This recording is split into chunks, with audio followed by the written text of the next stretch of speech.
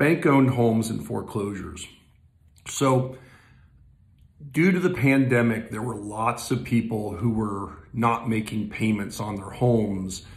And a lot of them had forbearances from their lenders, so they weren't required to make a payment.